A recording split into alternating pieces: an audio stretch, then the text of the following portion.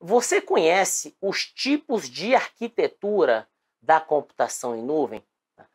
Computação em nuvem virou um queridinho da banca CESP nos últimos anos e esta classificação em específico, que é uma nomenclatura não muito trivial, tem despincado em provas e eu tenho certeza que vai cair uma questão similar no próximo concurso da PCDF.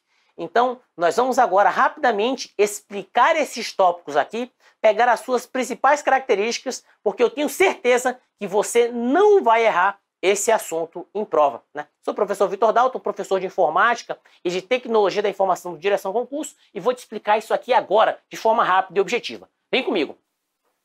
Nós temos né, três tipos de arquitetura da computação em nuvem, digamos assim, daquilo que é mais hardware até aquilo que é mais software, começando do IaaS até o SaaS. Vamos então entender esses três tipos.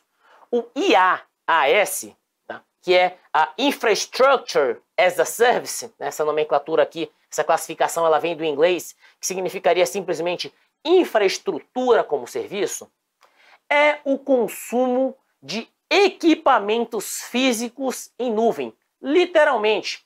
E como exemplo de fornecedores desses serviços, nós podemos mostrar aqui o Google Cloud Platform ou a Amazon Web Services. Tá? O que, que são esses fornecedores de infraestrutura como serviço?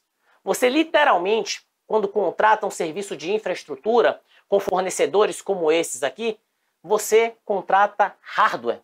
Você aluga computadores. Você vai lá na Amazon Web Services, eu quero um computador com 4 GB de memória, com um determinado processador, com tanto de espaço em disco, e eu vou alugar essa máquina. E essa máquina custa lá tantos centavos de dólar por dia.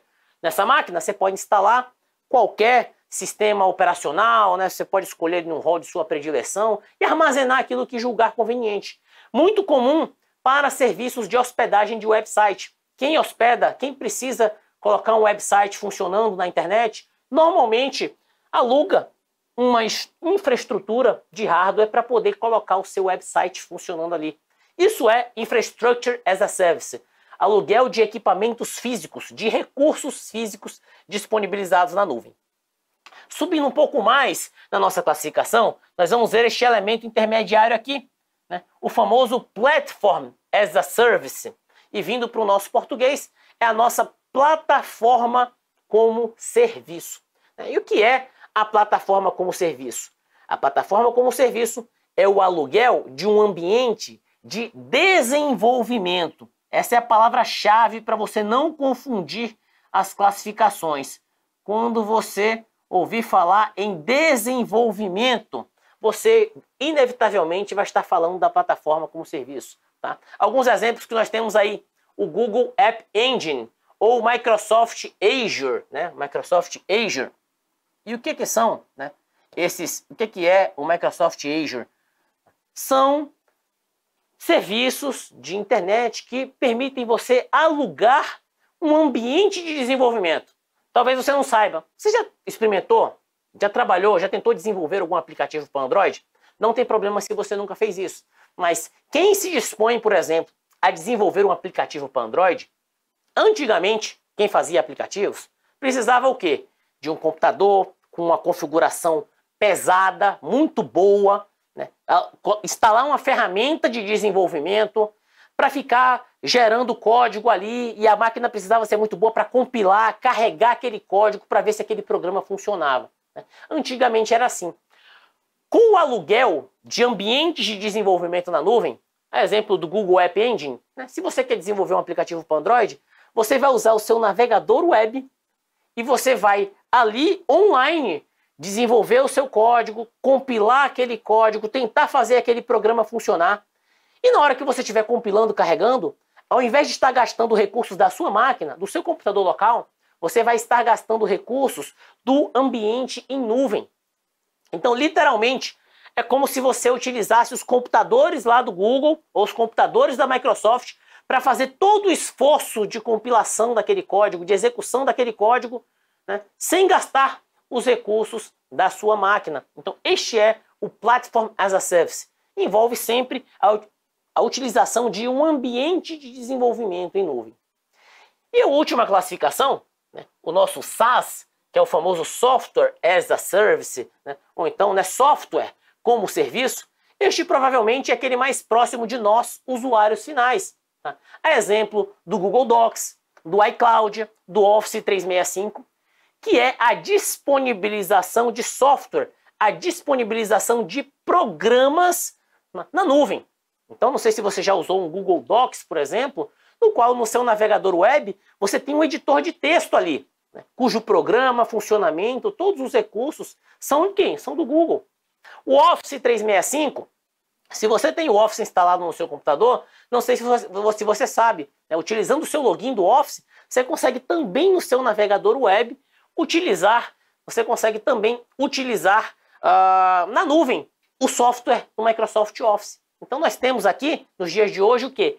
Disponibilização de verdadeiros programas, serviços na nuvem, para que você, sem ter aquele programa instalado no seu computador, somente utilizando o seu navegador web, você consegue então desfrutar desses programas. Né? A gente às vezes não costuma fazer associação mental, mas o serviço de e-mail provavelmente é um dos serviços mais antigos de nuvem no mundo, né? de software as a service uh, no mundo. Você ali entra no seu Gmail, no seu Outlook, no seu Hotmail, no seu e-mail do UOL, que seja, você tem um software rodando em nuvem no qual você consegue desfrutar do correio eletrônico.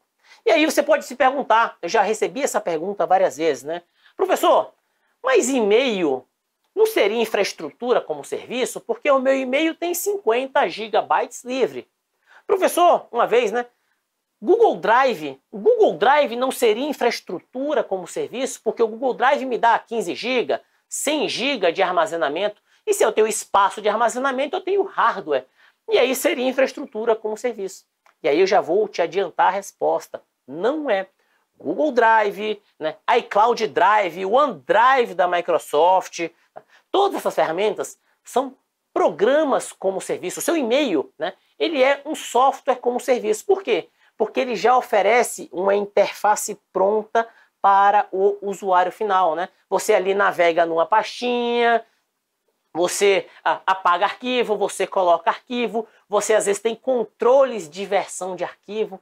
Então todos esses recursos voltados para o usuário final, eles acabam saindo disso aqui, né, da infraestrutura como serviço, para entrega realmente de um software como serviço. Tá? E não se surpreenda, por quê? Porque todo programa como serviço, ele utiliza espaço de armazenamento na infraestrutura de quem está disponibilizando aquele serviço para você. Então, mesmo que ele pareça que o serviço finalístico, caramba, Google Drive é espaço. Não, é muito diferente, tá? Você entrar num, num Google Cloud Platform e você pedir para você alugar um computador com 10 GB de, de espaço, com um processador Core i5, com 2 GB de RAM, tá? é muito diferente você alugar um computador no Google de você utilizar um Google Drive tá? com uma interface toda bonitinha para você manusear, para você manusear os seus arquivos, tudo bem? Então, esta é a classificação tá? que o CESP recorrentemente tem cobrado em prova. E agora vamos ver mais um exercício para consolidar esse entendimento na computação em nuvem, que mudou a visão de pessoas físicas e jurídicas acerca de recursos de tecnologia da informação. O modelo que oferece um ambiente sob demanda para desenvolvimento, teste e gerenciamento de aplicações de software é denominado como o quê? Palavra-chave. Se você está falando em um ambiente para desenvolver aplicações, né? desenvolvimento, teste e gerenciamento de aplicações, eu estou necessariamente falando de plataforma como um serviço. Ficou claro? Né? Ficou com alguma dúvida? Por favor, comente no vídeo que eu vou fazer questão de voltar e discutir com você qualquer tópico que porventura não tenha ficado muito claro. E se você gostou do vídeo, também deixe o seu curtir, porque nós aqui, os profissionais do Direção Concursos, estamos fazendo o nosso melhor para que você consiga sua aprovação no concurso da Polícia Civil do Distrito Federal. Eu sou o professor Vitor Dalton e agradeço a sua atenção.